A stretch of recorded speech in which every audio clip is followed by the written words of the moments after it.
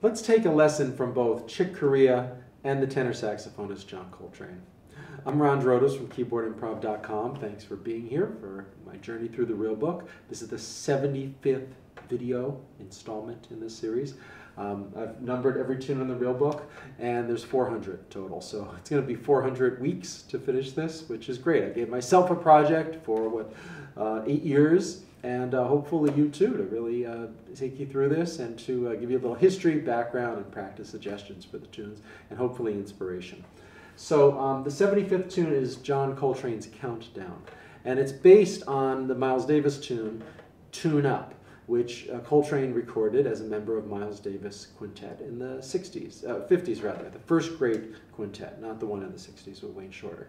So um, if you don't know those albums yet, My Funny Valentine, um, um, even um, uh, uh, kind of blue with the uh, sextet, um, walk-in, steamin, um, great, great a series of albums for about five years, six years.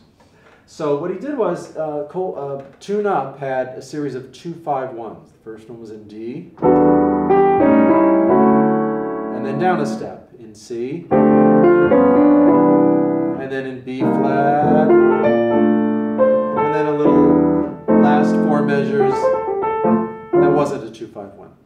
So what Coltrane did was he was playing the Richard Rodgers tune, um, Have You Met Miss Jones, and he realized that the chords in the bridge um, tonicized or did a 251 in keys that were related by thirds, related by thirds.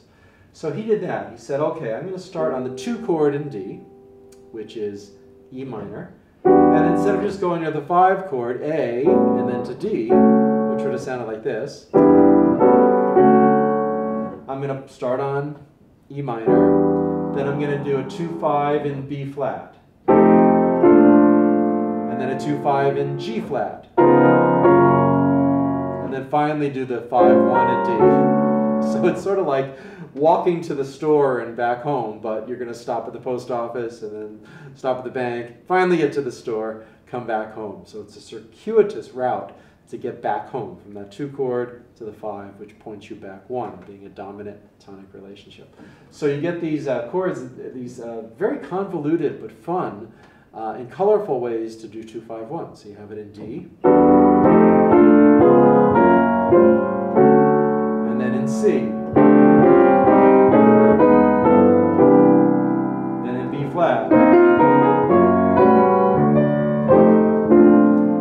the same four chords at the end that Miles had used.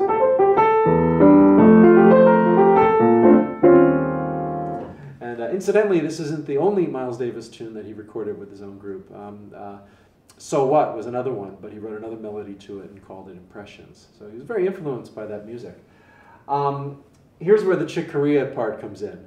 This is done at light speed, and, and the melody doesn't, the chords work slower.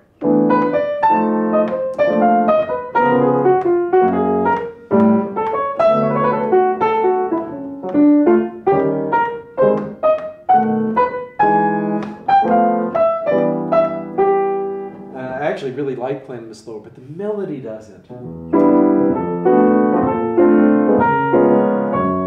I guess it would, but Coltrane really played it.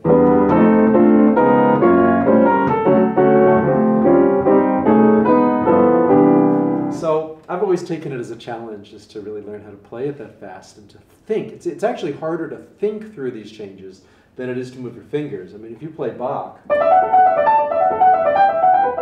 you know, you, you can play that fast, but it's to think through these changes and find some of the common tones like he does in the melody. Right? This nice little melody that just goes up stepwise, up and down, like a little waveform through these very convoluted chord changes. That's the hard part. Chick Corea once said in an article for Keyboard Magazine from the um, 70s, it was called Contemporary Keyboard Magazine when I first started getting it, um, that um, uh, the way to practice fast, to play fast is to practice slow. So I have played tunes like this many, many, many hours with the metronome on like 40, literally going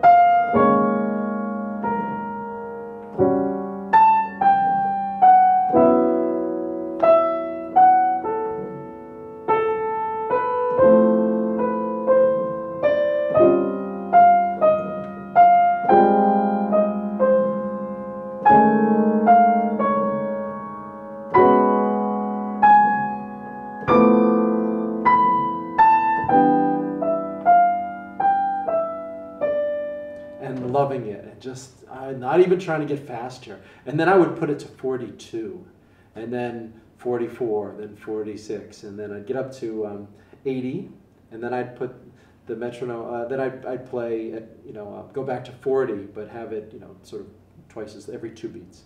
So um, working my way up very very slowly, and over time you can play it fast.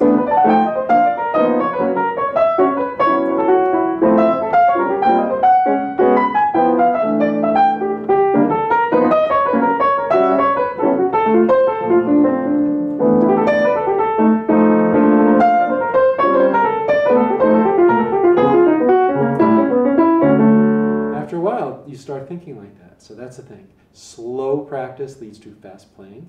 Um, let's see where this takes me. I, I just, this is sort of like, I think it's called countdown because it's like, you know, getting on a roller coaster or a spaceship where you're like 10, 9, 8, 7, 6, 5, 4, 3, 2, 1. Here we go. Hold on. Fasten your seatbelt. Here we go.